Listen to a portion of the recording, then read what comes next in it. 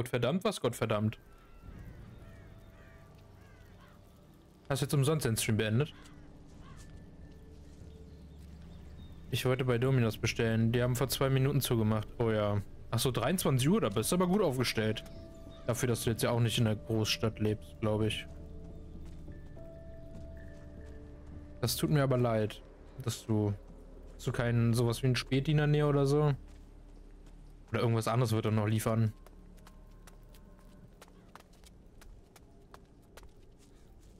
Hier mit, ich glaube, auf Höhe von den Gnomen habe ich wirklich mit einem geredet. Ich könnte jetzt zu Magnus gehen. Ja, mit der, in der Kneipe war ich auch schon. Mit. Das ist doch Magnus, ne? Moment. Wo wollen wir denn hin? Äh, Zivilisten haben hier nichts verloren. Wer hat dich hier reingelassen? Ja, äh. Andere Wächter haben mich reingelassen. das Tor war auf und ich ging durch. Zum Teufel, lassen wir jetzt schon jeden auf unser Gelände? Offensichtlich muss ich mit dem Wachtposten am Tor ein ernstes Wörtchen reden. Ich bin hier, um mit den Magiern zu sprechen. Das ist mir völlig egal. Hier habe ich die Verantwortung. Also sprichst du erst einmal mit mir. Was will jemand wie du wirklich hier auf Taranis? Kleine Stadt mit 65.000 Einwohnern, aber ja, ich bestelle nun beim zweitwichtigsten. Ich mache alles vom Döner bis chinesisch Schnitzel und chinesisch Schnitzel und Pizzalieferanten. Ja, ich, solange du fündig wirst, ist doch alles im grünen Bereich. Es könnte schlimmer. Ach, zwielichtig. Nicht zweit. beim zwielichtigen, okay. Dann äh, wünsche ich dir, wünsche ich, wünsche ich deinem Magen viel Erfolg, glaube ich. Aber da du da tatsächlich bestellst, wirst du, glaube ich, schon wissen, was da kommt. Wir stehen auf derselben Seite. So, so. Und das soll ich dir glauben? Komm schon, ich habe für den Unsinn keine Zeit. Ich will die Schatten bekämpfen und brauche dazu eure Hilfe. Hm. Du willst mit uns gegen die Schatten kämpfen, sagst du? Na schön. Dann überzeuge mich. Wieso sollte ich gerade für dich meine wertvolle Zeit verschwenden? Also den Magen verdorben habe ich mir da erst dreimal, wird schon. Ja, irgendwann muss er sich ja dran gewöhnt haben, ne? Man muss nur oft genug das Falsche machen, dann äh, wird's, wird's richtig oder so. so. So geht das doch, oder? Ja. Und ich habe gerade erst wieder realisiert, dass diese Kackrüstung weg ist und ich freue mich jetzt wieder darüber. Ich habe einem Wächter namens Ramon auf Antigua geholfen. Na schön. Das kann sein, ist aber für mich jetzt schwer zu prüfen. Da musst du schon etwas Besseres vorbringen, Fremder. Ach, dass ich weiß, dass es einen Wächter namens Ramon gibt, reicht nicht. Ich habe Horas, einen eurer Kadetten, vor der Inquisition gerettet. Ah, wieder dieser Horas. Der Bengel bringt sich ständig in Schwierigkeiten. Gut, du hast ihn gerettet. Aber ich fürchte, das überzeugt mich noch nicht. Ich biete euch Wächtern meine Hilfe an. Nehmt sie oder lasst es. Nein, ich müsste dich auch noch beaufsichtigen und ich kann nicht alles gleichzeitig. Hier im Lager habe ich schon alle Hände voll zu tun. Und dann wären da noch die Minen. Solange ich keinen Rapport über den Zustand meiner Minen habe, habe ich keine Zeit für weitere Dinge. Minen? Ich dachte, das wäre nur eine. Und wenn es nicht wird, habe ich zumindest eine Ausrede fürs Familienfest am Freitag. Ja, dann kann ja quasi nichts schiefgehen, oder? Satt oder Ruhe? Ich hoffe trotzdem, dass es drin bleibt, ehrlich gesagt, für dich. Wer ist der mächtigste Magier hier? Das ist der Schirmherr dieser Kolonie, der ehrenwerte Magier Zacharias. Okay, wo finde ich diesen Mann? Er ist mit seinen Forschungen beschäftigt und darf nicht gestört werden. Wenn du mehr darüber wissen willst, sprich mit Meister Erasmus. Er ist die meiste Zeit in den oberen Stockwerken der großen Halle zu finden. 9 Cent unter dem Mindestbestellwert. Dann wird es wohl noch ein Dip oder so. Ich, raste aus, ja, kann ich mir fast vorstellen. Zacharias klingt so klischeehaft, ne? Also gar nicht erhaben oder so. Klingt einfach nach einem 0815 Fantasy-Magier. Tja, schwach. Heißt das, ich darf mit den Magiern in der großen Halle sprechen? Hm, wenn du mich so fragst. Nein, besser du bleibst hier draußen. Die Magier in der großen Halle hatten in den letzten Tagen schon genug Ablenkung. War ja klar. Nicht, dass noch alles in die Luft fliegt, wenn ich mit einem Magier rede. Euer Schiff da draußen. Fährt das auch mal aus? Auf dem Meer ist gerade die Hölle los. Dann ist es besser, dass es da bleibt, wo es jetzt ist. Was unternehmt ihr gegen die Schatten hier auf Taranis? Ich weiß, dass sie schon jetzt angefangen haben, die Insel zu erobern. Aber ich habe zu wenig Männer, um mich darum zu kümmern. Einer dieser Schattenlords hat nicht weit von hier sein Lager aufgeschlagen. Ein Schattenlord hier auf Taranis? Wo ist er? Er ist über den Seeweg im Westen der Insel gekommen. Dort, wo sich die Sonne verdunkelt und die Umgebung um dich herum mehr tot als lebendig aussieht, beginnt sein Herrschaftsgebiet. Also sei vorsichtig und komm ihm besser nicht zu nah. Wie kommt ein Schattenlord denn über Seeweg? Also die haben... Setzt Crowley ab oder was? Das wäre richtig weird, aber da die von ohne von Natur aus doch schon schweben, stelle ich mir jetzt vor, dass der einfach tausende von Kilometern übers Wasser geleitet oder was. Ja, und ich habe gerade hier zu äh, Magnus Linken, von uns aus zu seiner Rechten, einen Gnom mit Hut gesehen. Der Hut kam mir ein bisschen bekannt vor. Ich bin schon voller Vorfreude auf diesen Gnom. Ich kann mich um deine Minen kümmern. Kommt nicht in Frage. Ich habe schon meine Männer mit der Aufgabe betraut. Und wie ist der Stand? Hm. Ich warte immer noch auf den Bericht. Seit Tagen. Ah ja. Klingt so, als hättest du alles im Griff. Ah, na schön.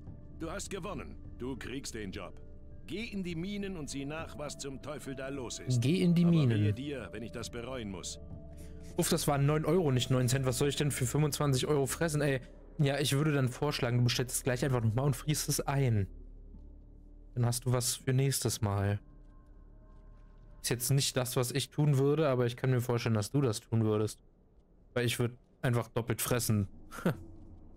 und Jafar, ja, ich, ich, äh, ich liebe die Gnome von Risen 2 und 3 so sehr. Das, die sind so toll. Eine Sache noch wegen der Minen. Ja? Mir fällt gerade so auf, du hattest ja mal bei Risen 2 gesagt, dass die Diebesinsel ein DLC ist. Es kann sein, dass die in Risen 3 ein DLC ist. Weil die hat bis jetzt, glaube ich, noch keinen Zweck erfüllt, storytechnisch. Und ich konnte aber schon hin. Und die Gnome da haben sie auch echt nicht gut gemacht. Die waren sehr schwach. Die auf allen anderen Inseln sind sehr authentisch. Gnomisch halt. Die machen doch nur Tiefkühlkacke. Tiefkühlkacke wieder einfrieren ist doch weird. Nee, ist voll okay. Kann man machen.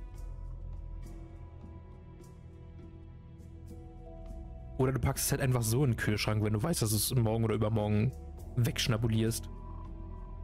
Wie viele Minen gibt es hier auf Taranis? Die Kristallvorkommen auf dieser Insel sind ziemlich weiträumig verteilt. Ich vermute, man müsste insgesamt vier Minen erschließen können. Den Eingang einer der Minen findest du direkt hinterm Lagerhaus unserer Siedlung hier. Eine Mine ist unweit von hier im Norden der Insel. Eine weitere ist ungefähr in der nördlichen Mitte der Insel. Und noch eine soll irgendwo in der Nähe des Hafens im Süden sein. Sicher bin ich allerdings nicht. Bisher haben wir nur die ersten drei sicher gefunden. Ich hatte in der Nähe von meinem Ausbildungsbetrieb einfach so einen chinesischen Imbiss. Das war richtig weird. Neben der Speisekarte hing so ein Zettel und der hat einfach Zimmer vermietet. Also das war mal eine ganz andere Variante von zwielichtigem Wir machen alles. Und guten Abend, Ulcoin. Schön, dass du wieder hergefunden hast. Ich, äh... Hab manchmal das Gefühl, dass du nur auf mich wartest, aber reagier da bitte nicht drauf. Ich werde, glaube ich, sonst nur enttäuscht. Was genau brauchst du von den Minen? Ich brauche einen Bericht von dem Verantwortlichen der jeweiligen Mine. Die Magier liegen mir schon seit Tagen damit in den Ohren. Sie warten auf ihre Kristalllieferungen. Also tu mir einen Gefallen und bau keinen Mist, klar? Ja, jetzt frage ich dem, was steht seit wann? Ich bin ja so abwesend, ich check gar nicht, dass hier auf einmal ein Wächter zwischen uns steht. Warum hat sich jetzt ein Kindermenü dazu bestellt? Ja, gut. Kann ich etwas von dir lernen? Du bist kein Wächter. Also darf ich dich nichts lehren. Ich werde dir keine Dinge beibringen, die uns Wächtern vorbehalten sind. Aber ich denke, ein bisschen kämpfen lehren kann ich dich trotzdem. Wenn du etwas Bestimmtes wissen möchtest, frag mich einfach. Umsonst mache ich das allerdings nicht. Die beiden Wächter müssten, by the way, die mit dem Gamestar Easter Egg sein. Was für ein Gamestar Easter Egg? Hä? Und tatsächlich hat Oldcon den ganzen Abend selber gezockt. Das ist auch schön. Das freut mich richtig. Darf ich fragen, was? Sag mir jetzt nicht. du musst jetzt dein, deine Gothic Run Serie knacken. Bring mir etwas bei. Was möchtest du wissen? Ja, was möchte ich denn wissen nach das übliche Kämpferzeug? Ja, erstmal die Ausweichrolle. Hab mich glatt erschrocken, dass da die drei Wächter stehen. So, das hier ist wahrscheinlich wieder Kneipe. Ja, aber Roderich Vetranio, das klingt sehr cringe. Ne, hab Elex 1 nochmal angefangen, ja, da bin ich auch nicht mehr weit von entfernt. Den Cox, ich kenne die gar nicht. Ich war doch schon in der Kneipe drin, sag mal. Die Wäsche ist noch nicht fertig. Komm später wieder. Ja, bitte Neuronsprecher mit der Stimme von Matt. Also dem Prison 3 Matt und nicht. Ja, ich, äh. Hab mit so einer Bemerkung schon gerechnet, Bro. das war mir schon ein bisschen unangenehm, als ich es ausgesprochen habe. Ich dachte, ja, das, äh, da habe ich doch jemanden im Chat, der da gleich drauf anspringen wird. Wäsche? Welche Wäsche? Ja, ich nehme an, Wäch Wächterwäsche. Wäsche? Welche Wäsche? Na, die der Wächter. Irgendwer muss das ja machen. Und das bist dann wohl du. Mein Leben als Kadett habe ich mir irgendwie anders vorgestellt. Ja, als Wächter wirfst du mit Feuerbällen nur so um dich, haben sie gesagt. Aber das einzige Feuer, das ich zu sehen bekomme, ist das vom Kochtopf. Ja, ich möchte auch ganz dringend, wenn ich Soldat werde, möchte ich einfach nur um, um mich ballern. So, darum geht's nämlich. Okay, du bist also die arme Wurst hier. Ja, ich meine nein. Also jetzt schon, aber später...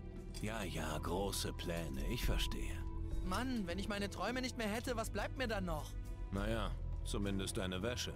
Na, danke. Das ist, by the way, das erste Mal, glaube ich, dass Piranha Bytes Wäsche anspricht, oder? Also, ich glaube, es gab noch nie... Vielleicht gab es mal eine Rüstungsreparatur, die erwähnt wurde. Aber dass richtig Wäsche gewaschen wird, gab es, glaube ich, hat bisher noch keine Erwähnung gefunden. Ich habe mal wieder was zum Loben gefunden. Jetzt müsste ich halt nur noch sehen, dass der vielleicht hier, weiß ich, in Schürze rumhängt und wirklich hier irgendwo Wächterwäsche hängt. Beziehungsweise einen Waschraum habe ich auch noch nicht gesehen. Erzähl mir mehr über die Wächter. Wir sind sozusagen der lange Arm der Magier.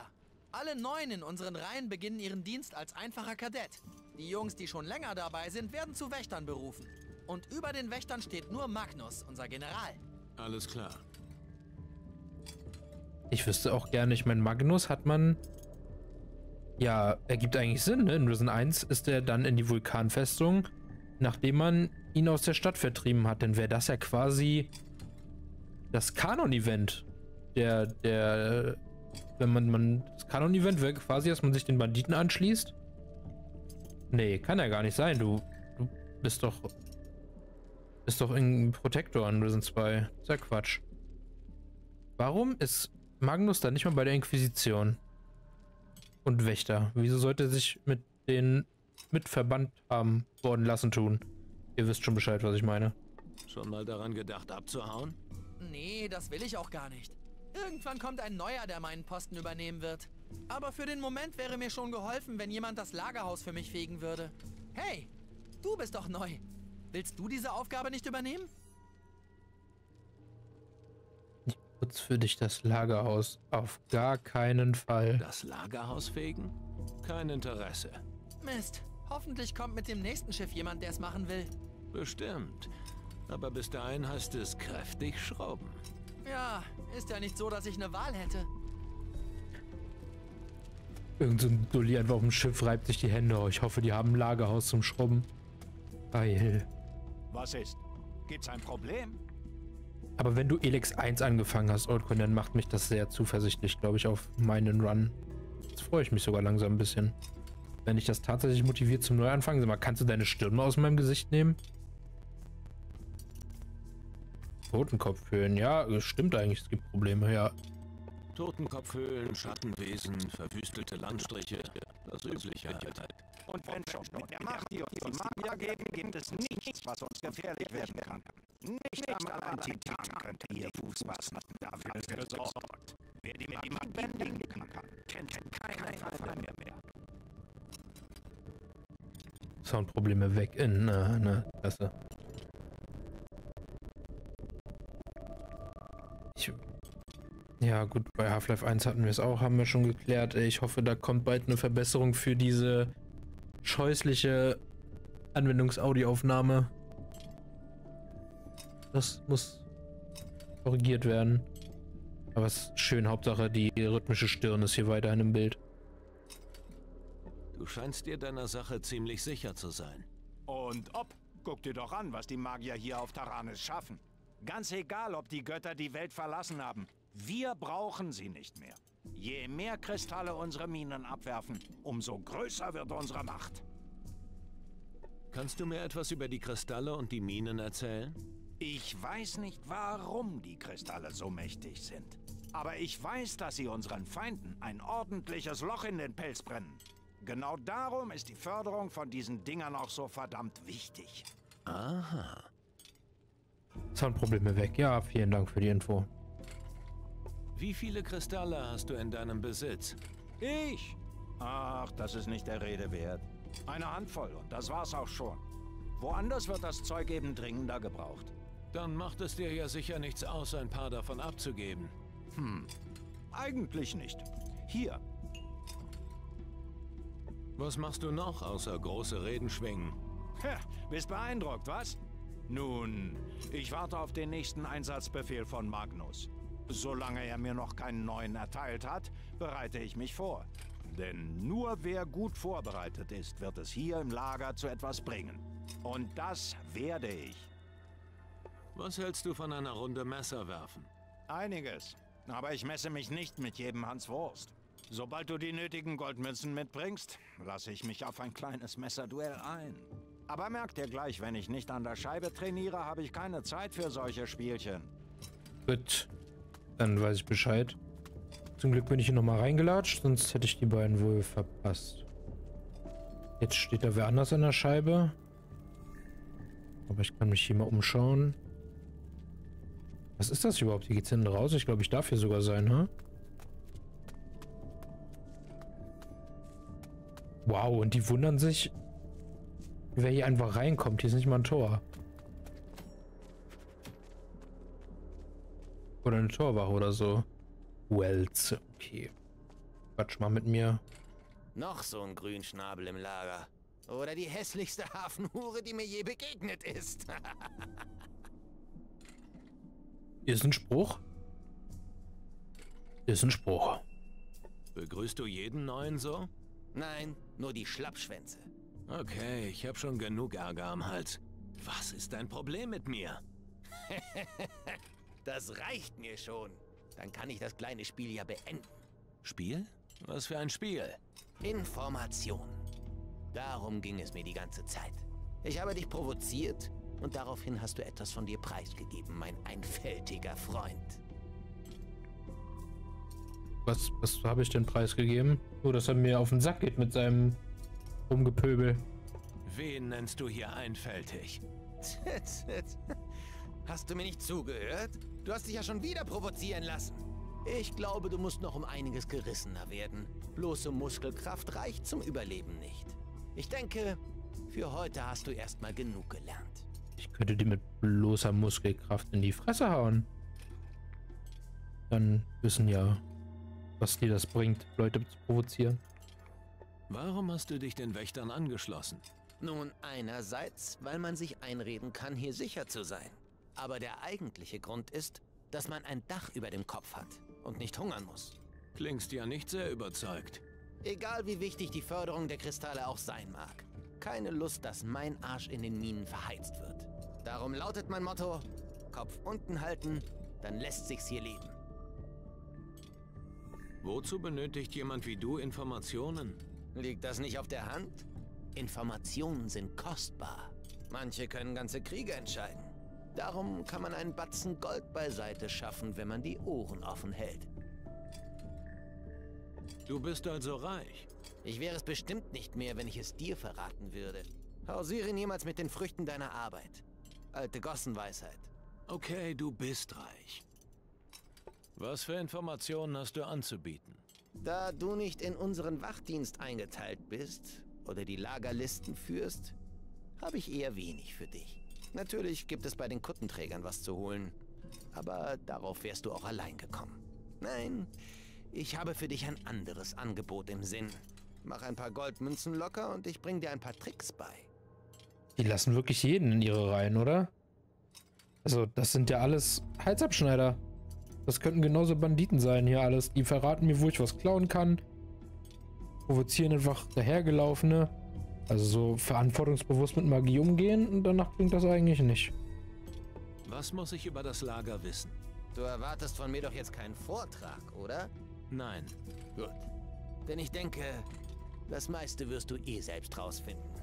Was ich dir allerdings empfehlen kann, ist ab und an einen Blick in das Hinterzimmer der Taverne zu werfen. Dort wirst du hin und wieder jemanden antreffen, mit dem du um die Wette trinken kannst. Hinterzimmer? Wer lässt sich hier auf ein Trinkspiel ein? Hier rennen schon ein paar Saufnasen rum. Halt einfach die Augen offen. Wenn du wirklich deine Trinkfestigkeit beweisen willst, dann gibt es nur einen Weg. Sobald jemand mit der Buddel in der Hand im Hinterzimmer der Taverne steht, fordere ihn heraus. Die bessere Leber gewinnt. Ach, diese scheiß Extrakammer wahrscheinlich. Hinterzimmer hätte ich jetzt nicht genannt, aber das wird's wohl sein. Was kannst du mir beibringen? Was willst du wissen? Bring mir bei, wie ich andere provoziere. Nee, das kann es natürlich nicht. Ich war jetzt schon wieder auf F6, aber das war Half-Life. So, Kadett ist kein Name.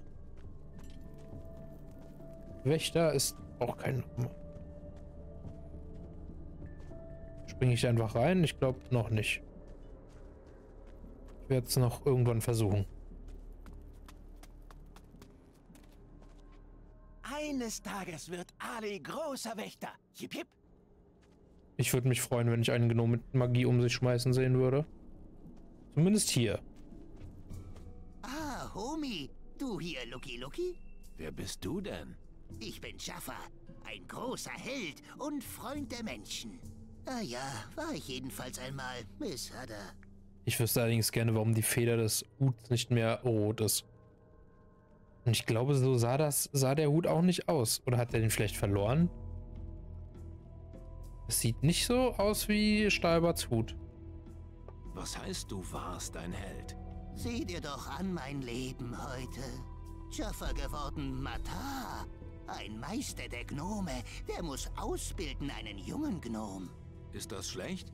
Nee, aber das heißt für Jaffa muss er aufpassen auf Schützling und ich nicht mehr kann zur See fahren. Bin hier gestrandet auf stinkende Insel Taranis. Mesada. Wie macht sich dein Schützling? Jaffa hat versagt. Mein Piwi war zu lange unter Menschen. Hat nie richtig gelernt von seinem Matar, was es heißt, ein Gnom zu sein. Wer ist dein Piwi? Mein Schützling heißt Ali. Er läuft durch Lager und erzählt jedem, dass er will werden Wächter. Ah ja, den habe ich schon getroffen. Oh nein, große Enttäuschung ist Jaffa.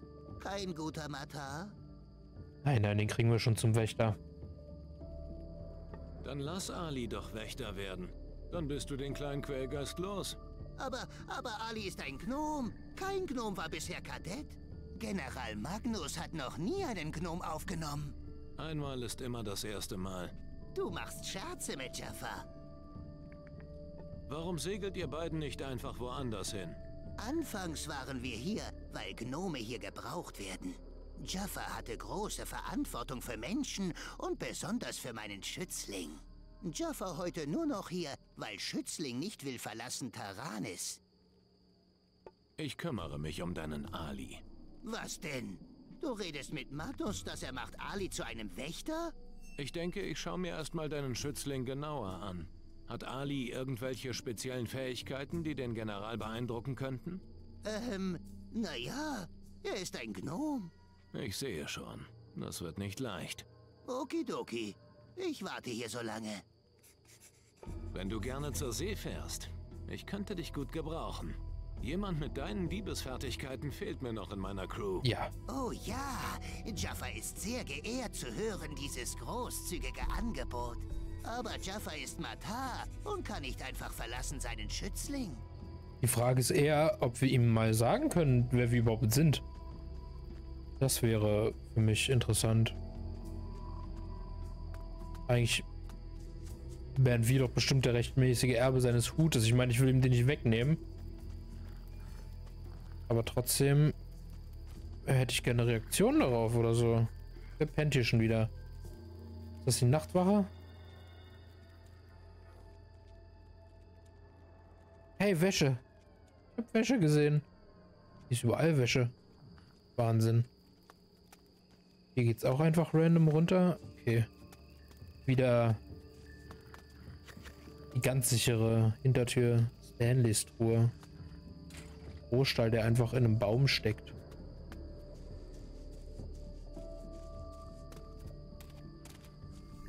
Aber ich will Ali zum Wächter machen. Ich äh,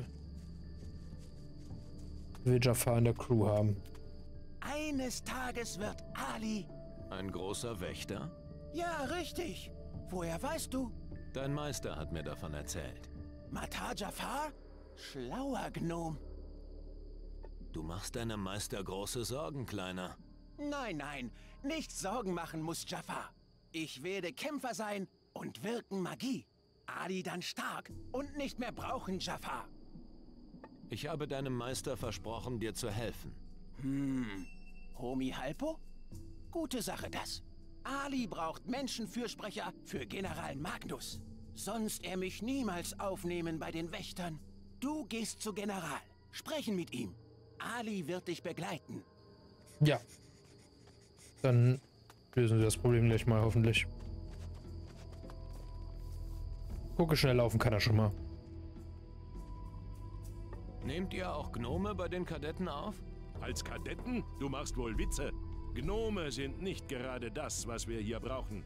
Ach so, aber für euch arbeiten lassen könnt ihr sie schon, ja? Hm. Du redest doch von Ali, oder? Er will schon Wächter werden, seit er hier angekommen ist. Zugegeben, der Kleine hat schon viel geleistet hier im Lager. Dann bilde ihn aus. Hm. Na gut. Überzeugt mich.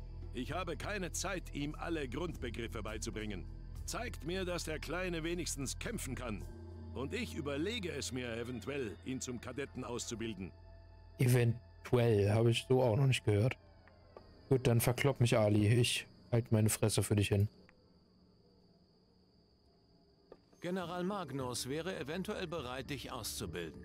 Du wärst dann zwar noch kein Kadett, aber hast schon mal einen Fuß in der Tür. Yippie! Langsam. Er will erst sehen, dass du die Grundbegriffe des Kampfes beherrschst. Ali kann kämpfen wie ein Panther. Ich werde es dem General zeigen. Hm, aber wie?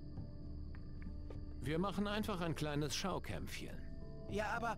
Aber du bist viel größer als Ali. Sagtest du nicht, du seist stark wie ein Panther?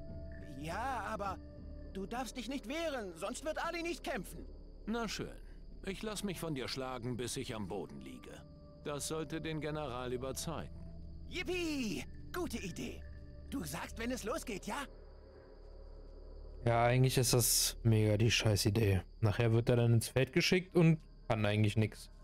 Und ich muss mal so sagen, Panther habe ich auch schon erschossen. Okay, los geht's. Greif mich an, Kleiner. Hua! Attacka! Zeig's ihm! Ja, ein bisschen dramatisch muss ich schon machen, ne? Oh nein, er hat mich erwischt. Okay, das dauert wirklich lange, wenn ich das so mache. Verklopp mich bitte. Schneller.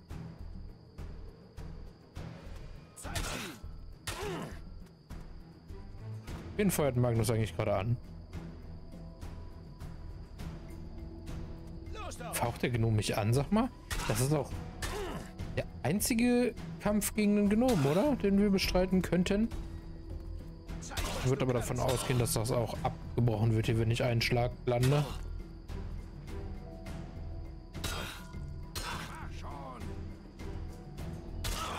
Aua, am besten er zieht mir noch alles ab. Das war brutal.